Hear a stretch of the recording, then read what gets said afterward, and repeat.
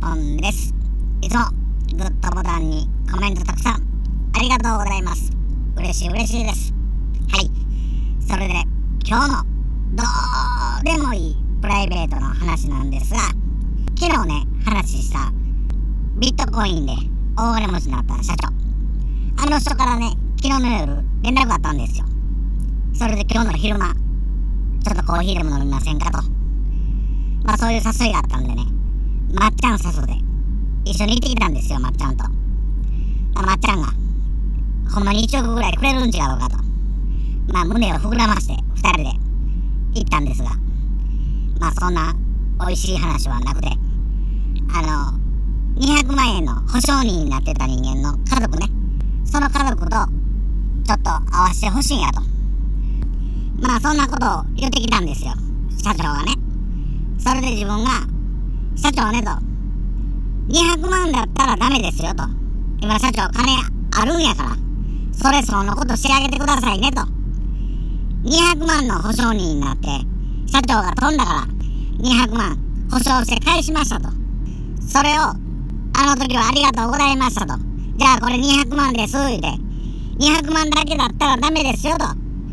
それ相応のことしてあげてくださいねってまあ最初に言ったんですよ。そういうふうにね。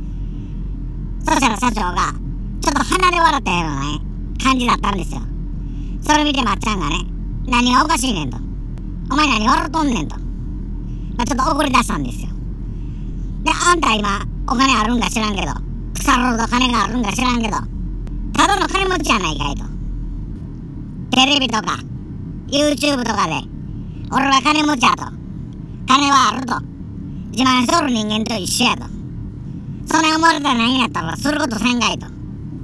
俺に金くれとかポンちゃんに金渡せとかそんなん冗談やと迷惑かけた人間にはすることしてくれな。あんたはただのカスやっつってねこうまっちゃんが怒ったんですよ。まあ気持ちはわかるんですよ。確かにね。それで社長が分かってると。迷惑かけたことも分かってると。それ相のことはさせてもらうと。思ってると。まあはっきり言ったんですよ。それ聞いたからまあ自分は電話かけたんですよ。奥さんにねその保証人になってた人間の奥さんに電話かけたんですよ。そしたら最初はね出なかったんですよ。それでまあ折り返しあるかなと思って待ってたらまあすぐ折り返しかかってきて。それで実はとまあ誰々が保証人になっててっていう話をしたんですよ。そしたら奥さんはもうそのことを全く知らないわけなんですよ。保証人になってたこととかそのお金を保証したこととか全く知らないんですよ。でもそんなこともし社長の耳に入ったら社長がケチったらあかんからね。自分がそのままその奥さんが知ってるようなふりしてね。それで社長が今ものすごく金持ってると。だからそれ相応のお礼もしたいって言ってくれてるから今日時間あるってまあ言ったんですよ。そしたら夕方なら行けると。じゃあ夕方どこどこまで来てくれると。まあ自分らが会ってた喫茶店ね。そこまで来てくれるって言ったんですよ。だ行く行くということになって、まあ、電話切ったんですよ。で最初まあ夕方来るからと。ちゃんと話してしてあげてくださいねと。だ分かったと。あの恥かかすことはせえへん、まあ、そこまで言ってくれたんですよ。知り合いの奥さんが来るまで待ってたんですよ。まあその時にねいろんな話まあ聞いたんですけどそのビットコインを買った時はね社長はね騙されてると思ってたらしいんですよ。そのインド人に。その20万円はこのインド人が適当なことを言ってまあお金を取ってるんやろぐらいの気持ちだったらしいんですよ。でもそのインド人がものすごくよくしてくれたらしいんですよ。重たい荷物を社長が持ってたら僕が持ちますとか言って持ってくれたりとかね。ものすごく優しかったらしいんですよ。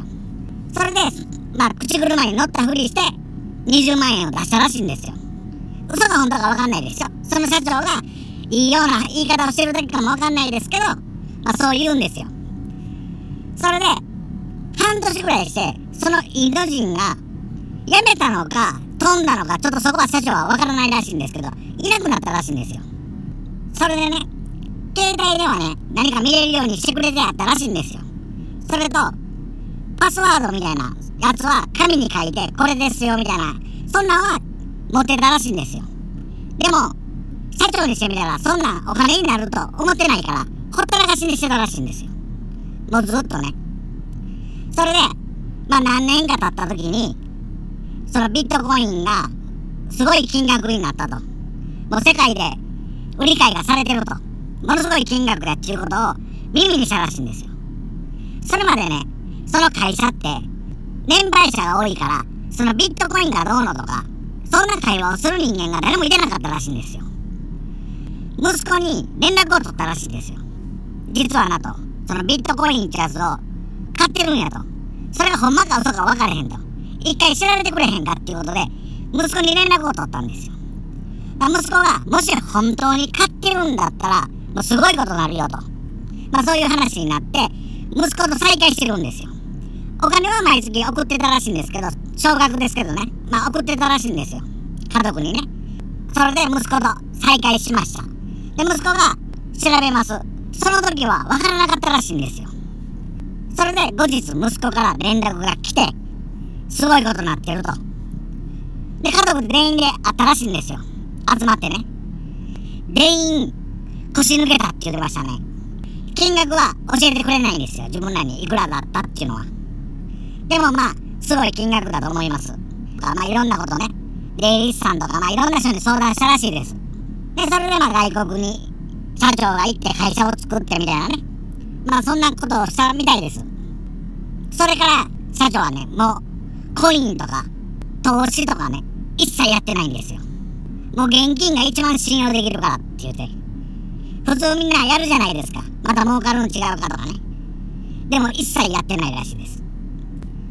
それで、みんなに会いたかったと。みんなに連絡したかったと。でも、今自分がこんだけ現金持ってると。とりあえず家族にすることをしたいと。それで、気持ちの整理をするのに10年かかったって言ってましたね。すぐ会ってしまったら、有頂天になって、お金をバンバンバンバン出してしまうと。だから、その整理をつけるのに、約10年かかったってって、自分らには言うてましたね。そういう風に。まあ自分らにしてみたら、金出すの嫌やったから、会いに来えへんねやろとか、まあそんなん冗談言ってたんですけど、でもそういう風に社長は言ってました。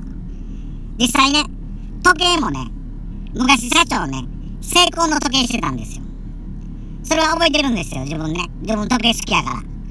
それで、今日、その成功の時計まだしてるんですよ。傷だらけですよ。すごいお金持ってるんですよ。まだ成功の時計してるんですからね。だからケチというかね、ものすごく慎重だと思います。お金を使うことに。